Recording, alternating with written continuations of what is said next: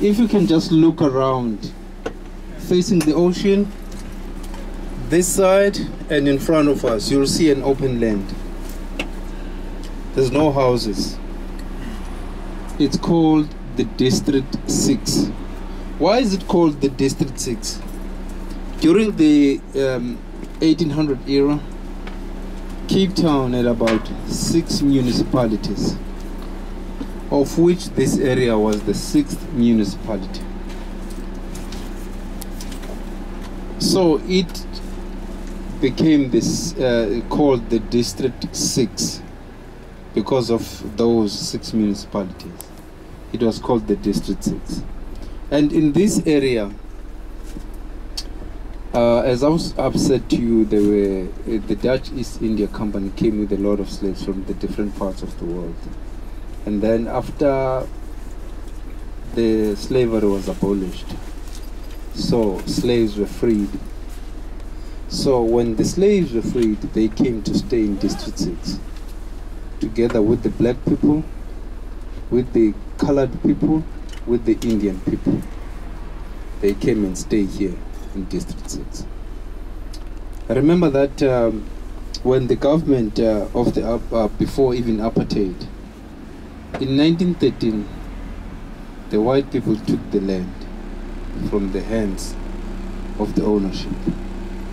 They took about the minority white people. They took the minor.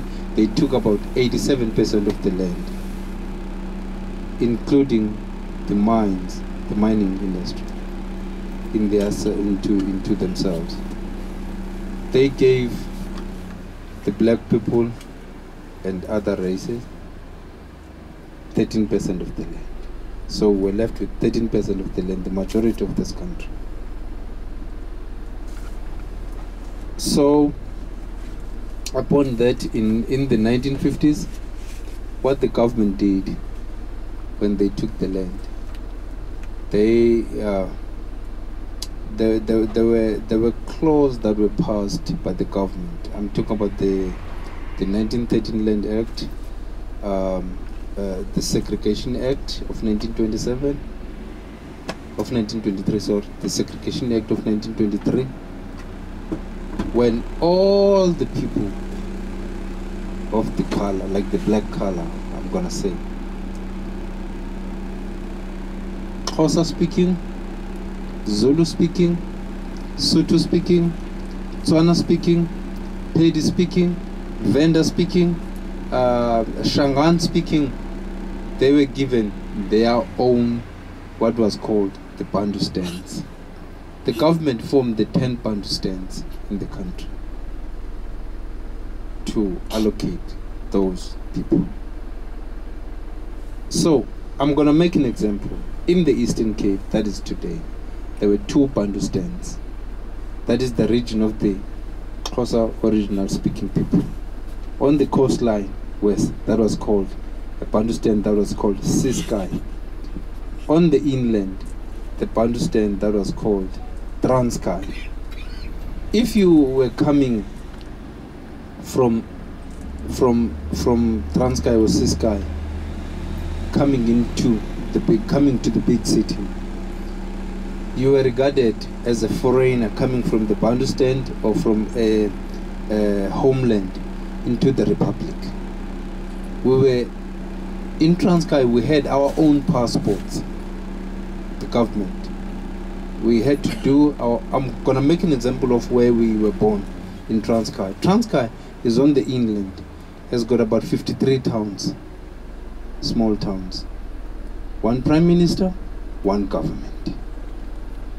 So it was also controlled also by the government, although we're independent. We are not independent. We got our independence in Transkei in October 26th of October 1976. That's when we had to do our own affairs as a as a, as a Bantustan of Transkei. We got our independence in 1976, and then we were not we were not the part of Republic or of South Africa. So, coming back to the issue of the District 6, as the years go by, rolling on the, the story. The government in 1960, uh, in 1950, yes, in 1950, they formed what was called this, um, the Group Areas Act. Group Areas Act in 1950. So people were, had to stay according to their race. Colored, Indian, black. So in 1966, the government started to say, or in 19, 1965, they said they are going to remove people from the city because this er, area was designated only for white people. It was only for white people. Wow. The city. So it was strategic. Yeah, Group everybody up, What does the removal look like?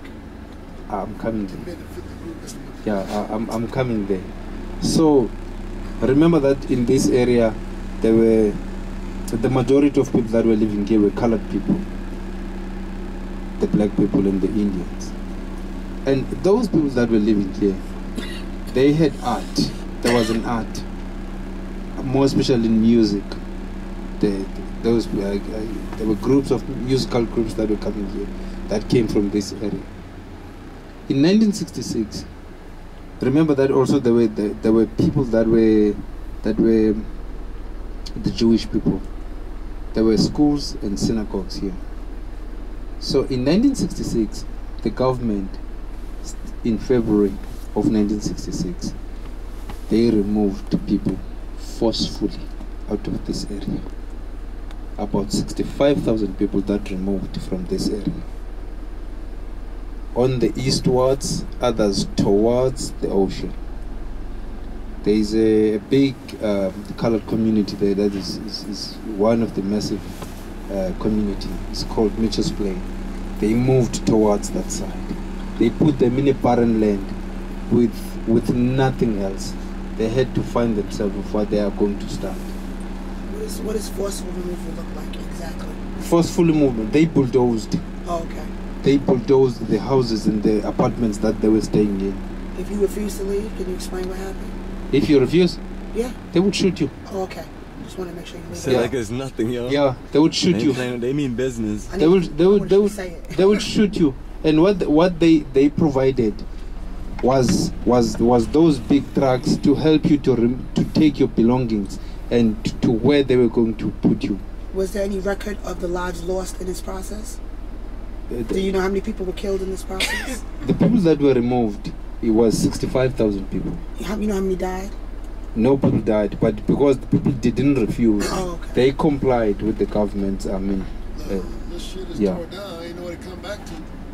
That's what you gonna So you said there were Jewish people in synagogues in this area. Yes, the, the, the only the, the only they removed everything, but the only thing there were two buildings that were, were, were not removed, were the synagogues and schools. Everything was demolished. Everything was demolished. Did the Jewish people have them off? They they, they, they were removed. Only the synagogues and the schools that were removed. Nothing was left behind. Okay, so the synagogues and schools were removed as well. Were not? We're not. Okay. Yeah, we're and not. so after this forced removal of the people of the colored people in District Uh, Six, Yes. what filled the area? Did, did Who was allowed to stay? Yeah, who was allowed to stay, and who built who built on the? No, it's it's this is is is is this open space that I'm talking about. Okay. Is this open land? So they made everybody leave and never developed it. No. Not yet. No. Nothing happened. Not. So they made them leave just because they didn't want to be. Yes, they said they because they said it's a, it's, it's it's a white it's a it's a white area. Area. It belongs to the white only to the white people. Okay, so I want to know: were other whites here with the Jews, or were there just Jewish whites here? We're, we're, we're just Jewish people. Oh, just Jewish. Just Jewish. So even though you were colonized by mm. the Dutch and the British, Yes. only the Jewish people lived in District Six after the removal. No the no no Jewish never lived. They were they were also removed. Oh, I'm saying okay. there were Jewish people. There were people that were Jewish that were were, were worshiping in the synagogues. Okay. But they were also removed. Okay. But only the schools and the and the synagogues were not were not demolished. The reason be I don't know. okay. And those people, Jewish people that that were removed here, So a lot of them that moved to Sea Point. In in Sea Point, there's a lot of of uh, there's uh, about forty percent of the Jewish uh, community that is in Sea Point, and there are synagogues also there now, in Sea Point on the seaside. So, but but, the- but they put the black and the colored people in the barren. Yes, and they the Indians. starve. Yes, they moved they they moved them away To where? to to uh, to Mitchell's Plain, um, Kensington. That that is the that is the biggest area that they that, that they went to. Okay. Okay.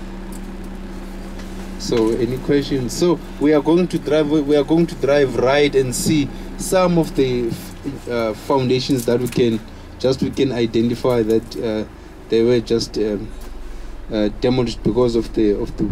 Hello. I, I have Yes, a. Yes. So that area over there, is that all white? Yeah. Homes? Yeah. So yeah. that's all white? Yeah. It's all white. So that has remained until today. Yes. This is an all white area. Yeah. When did they do the um? What, was, what year was that when they? 1966 on the 11th of February. Oh, okay. So they had a year. They had a plan like they Yes. do with gentrified areas. Yes. Okay, understood. That is it. This Mawutu, these people, literally, this is what they, their legendary is. Legendary is uh, displacing us as a people. Even, these are these are similar things going on currently in America. Get off. So the same, the same, the same things that you face here, the same things that we face as black people everywhere else. Yeah. We, So that's why we always- We got big. Do you want to stop Yeah. for a second? He wants to take Okay. a picture. here. Okay. So so so Let's brilliant. take a picture here. Okay. Oh yeah. So yes, family. that's You wanna why, take know, pictures? we- Yeah, because we got to We we go back in this and hear you. Okay. For some, yeah, just, just Okay. to document the Okay. space. Okay. Thanks. I know he's gonna drop in the chat, so I. That's how I feel. It's gonna be the best They get no way. I don't know about all that. Yeah, you take take an aerial shot. Be the last remaining black man in District Seven. And so family, District 6 again. Forcible removal of black African people. These white people claim land that doesn't belong to them. These people are legendary for doing these things. So why we keep a good fight going. By educating our people so we can organize and invest in each other and build what we need to build so we can be a strong people.